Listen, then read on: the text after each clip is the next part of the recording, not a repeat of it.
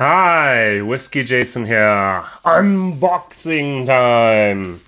Also, eigentlich wollte ich sehr gerne einen Redbreast, 12 Jahre alt, Fassstärke, also Cast Strength. Und dann was tue ich? Ich gehe online, ich schaue einfach, wer den besten Preis hat. Und sehr oft hat ein und derselben Laden den besten Preis. Das ist... Das gibt nur einmal. Das, das gibt es nur einmal. Also ich habe schon immer wieder Sachen dort gekauft und die haben echt gute Preise, muss ich sagen. Und jetzt kommt diese Sache hier nach unten und ich hole mal hier raus, was ich gekauft habe. Ich habe mir einen Bullet 10 Jahre alt gegönnt. Habe ich immer wieder was auf meiner Sample-Liste haben wollen. Das ist aber nicht der Grund für mein Whisky-Video heute. Dann habe ich, uh, kriege ich gar nicht hier raus. Ja, Moment, versuche meinen Finger herumzukriegen. Dann habe ich hier auch was Tolles, finde ich. Werde ich auch eine Flaschenteilung davon machen. Amrut Porto Nova. Das hier soll eine sehr, sehr tolle Sache sein. Uh, es hat sogar hier ein kleines Bändchen darum, damit es nicht auffliegt. Kommt auch hier zur Seite. Der wahre Grund für meinen Einkauf da war Red Breast. Cast Strength 12 Jahre alt. 57,2 Prozent. Hahaha. Eine gute, gute Sache. So, jetzt werde ich mich hier wieder ein bisschen bewegen. Das kommt hier zur Seite, ein Glas kommt hier hin und ich packe dieses Baby hier für uns aus. Unboxing Live. Also das einzige Problem, was ich habe bei das gibt nur einmal ist, die erheben 5 Euro Porto, egal ob man 1000 Euro kauft oder nur 2 Euro. Und ähm, das ist einfach so. Redbreast und ich, ähm, der 21-Jährigen, finde ich, oh, boom, sowas von toll. Ähm, das war eine richtig, richtig schöne, schöne für mich Entdeckung, als ich das das erste Mal im Glas hatte. Wow. Ähm, der normale 12 und der normale 15 Jahre alt fand ich irgendwie, hm, gut, aber irgendwie bei meinen Blind Tastings haben sie meistens nicht so toll abgeschnitten. Und jetzt habe ich immer wieder und immer wieder und immer wieder gehört, dass der Cast Strength genial sein sollte. Und dann dachte ich mir, gut, gekauft. Aha. Also, ähm, Irish Pot Still Whiskey das heißt, gemälzte und ungemälzte Gerste kommen zusammen in einem Pot Still, dreifach destilliert. Also nur Single Pot Still kann in Ireland, also in Irland, auch hergestellt werden. Ganz ursprünglich ging es darum, dass die Iren die ähm, Malzsteuern ähm, sparen wollte, die damals die bösen ähm, Engländer erhoben hatten.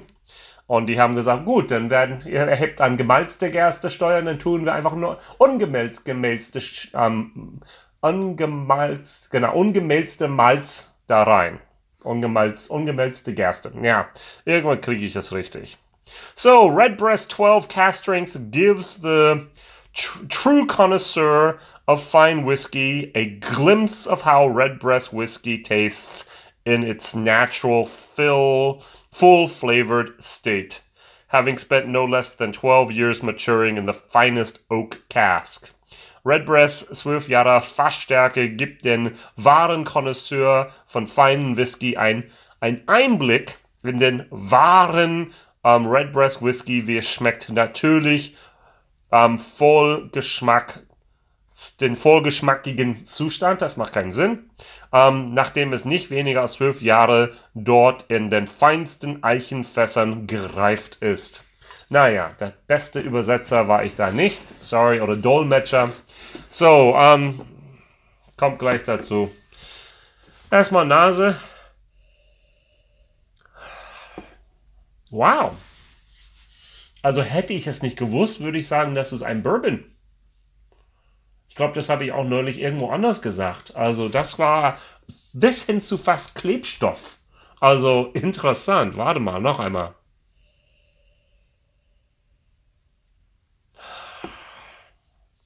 Wow. Interessant. Also diese gemälzte und ungemälzte Gerste ist schon eine komische, merkwürdige, coole Zusammensetzung. Ähm, das ist ein besonderer Geschmack hier. Oder Geruch. Sehr alkohollastig. Ich kriege tatsächlich ein kleines bisschen Limette. Ich kriege langsam auch ein Creme Boulet.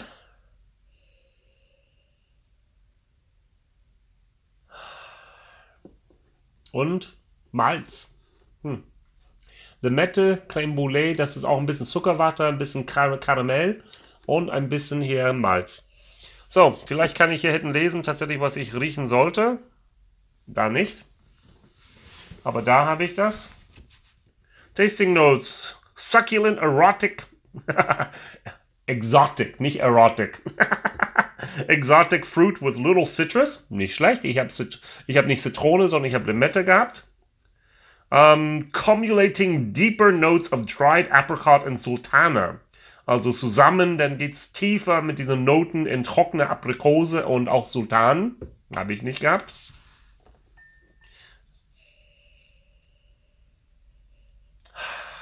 Rosinen ein Hauch, aber Aprikose nicht.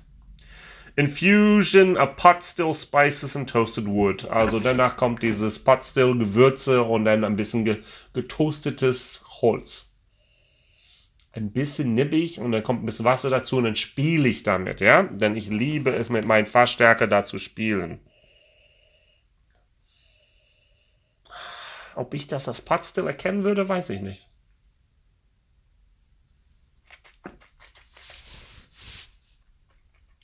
Mhm. Im Mund schon. Mhm. Kommt nicht daran, aber kommt in diese Richtung. Wow. Ölig. Mhm. Minzig. Holzig. Baumwolle habe ich im Kopf. Wieso habe ich Baumwolle? Wie schmeckt Baumwolle? ich habe wirklich diese nicht hier, sondern da direkt auf dem Feld die man nachher der Kerne da rausziehen sollte. Ich, das, dieses Bild habe ich im Auge. Also auch in Virginia gab es Baumwolle. Auch das Zeug habe ich auch tatsächlich live schon gesehen und auch die Pflanzen da schon gerochen und so weiter. Ich glaube nicht, dass ich im Mund das tat. Keine Ahnung. Komisch. Also ich bin merkwürdig. Hm. Sehr lecker. Also hier hinten steht, dass ich eigentlich haben sollte Also rich, fully rounded and mellow with luscious fruit and tropical pot still oils and spices, sweetness of vanilla and a touch of oak. Also reich, volle, runde, weichen, luxuriöse Früchte und typische Potstill, Ölen und Würzen, Süßness, Süßheit von Windel und ein Hauch von Eiche. Also Marketing ohne Ende, ja? Oh, ich wollte Wasser reintun. So, 1, 2, 3, 4, 5. Und dann trinke ich, und kommt nochmal 5, dann trinke ich, und kommt nochmal 5.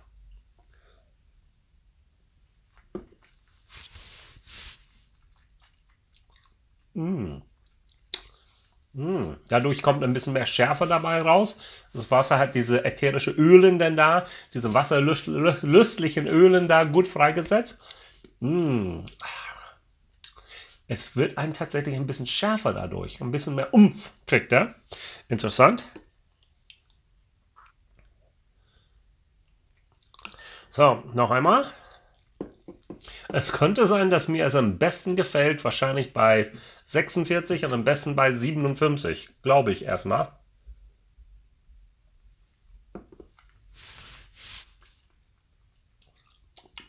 Mhm. Das war ein bisschen besser.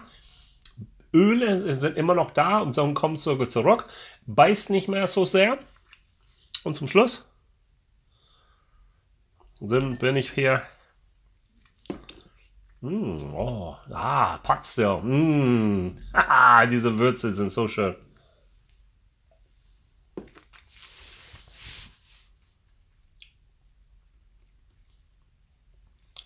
Mm. Ich habe den immer noch nicht auf 46 gekriegt. Der war immer noch über 48. Oh, lecker. Also das genauso gefällt mir am besten. Also bei diese 48 herum. Mm, mm, mm. Oh ja, sehr gut. Also eine schöne, schöne Sache. Also die Flasche werde ich hier teilen, also werde ich anbieten und die Flasche werde ich hier auch genießen. Eine schöne, schöne Sache. Ich kann wirklich sagen, Middleton, also da freue ich mich, endlich auch die Middleton Whiskys, die High-Class-Dinger dann zu probieren. Ich habe ein paar da Samples denn davon da. Also wer Middleton Rare noch ein paar Samples hätte, hallo, ich freue mich, die auch mal zu bekommen, denn jedes Jahr kommen neue raus und meine sind schon zwischen, ich glaube, sieben und zwei Jahre alt oder drei sogar, keine Ahnung. Mm, also lang anhalten, das ist richtig schön. Ah. Nett, nett, nett, nett, nett, nett. Noch nicht ganz so gut wie hier, aber in diese Richtung geht es schon. Also, ich habe schon vor ein paar Wochen gefragt, was ist euer Lieblings Cast Strength Irish Whiskey? Ich glaube, da hatte ich dann ähm, was habe ich denn da gehabt? Ah ja, genau, ich habe den Writer's Tears hier gehabt. Da oben könnt ihr gar nicht sehen, die 2017er Version, Cast Strength. Und nun meine Frage ist, welche ist der Lieblingsedition ähm, oder Ausgabe oder Abfüllung hier vom Red Breast? Ist das der 12? Ist das der 15? Ist das der 21? Ist das der Cast Strength? Oder besser gesagt, welche hast du schon mal probiert? Haha, vielleicht ist das das Problem. Vielleicht hast du den 21er noch nie gehabt. Vielleicht hast du Castring noch nie gehabt. Vielleicht hast du den 15er noch nicht mal gehabt. Ich habe echt noch so viel da hinten noch in meiner Flasche davon. Und ich werde irgendwann mal hier ein Vertical, Vertical Tasting hier machen. Da werde ich alle gegeneinander antreten lassen. Trotz dieses hier werde ich ein bisschen einfach das mitspielen und einfach damit herumprobieren und experimentieren, bis ich das hinkriege, wie ich es will. Okay, Whiskey Jason hier, Whisky aus der Sicht eines Amerikaners. Frage des Tages, welche Redbreast gefällt dir am besten? Welche Ausgabe, welche Abfüllung? Und meine Bitte ist immer wieder liken, immer wieder abonnieren, unten auch schreiben. Also irgendetwas, das hilft meine Videos sehr. Und auch natürlich auf Amazon draufklicken oder auf meine Sample-Liste. Die gibt es tatsächlich jetzt hier zu, zu versampeln. Ähm, ich habe hier bezahlt, muss ich hier selbst schauen. Ähm, was habe ich hier bezahlt? Also, uh, das war schon 55 Euro. Also 55 Euro durch 10. Also sind hier 5,50 Euro für 0. Ja, das durch 10 geht gar nicht. Also ähm, durch 7 ist dann das, was 10 kosten würde. Also 55 durch 7 sind 8 Euro ungefähr für eine ähm, 10 CL und dann entsprechend die Hälfte für ein 5CL. Also wir sind bei 4,50 Euro oder so. Nagel mich nicht fest mit diesen Zahlen. Das war aus dem Kopf heraus und da kann es vollkommen daneben liegen. Bitte auf meine Sample-Liste schauen. Da steht alles in der Excel-Tabelle und da wird alles genau perfekt gerechnet. Denn da kommt noch 80 Cent dazu hier pro Flasche, Sample-Flasche und so weiter und so weiter. Also unbedingt ein Sample euch einfach mal besorgen, falls ihr es noch nicht im Glas hatte. Es lohnt sich. Sehr gut. Okay, vielen Dank. Tschüss. Bis morgen.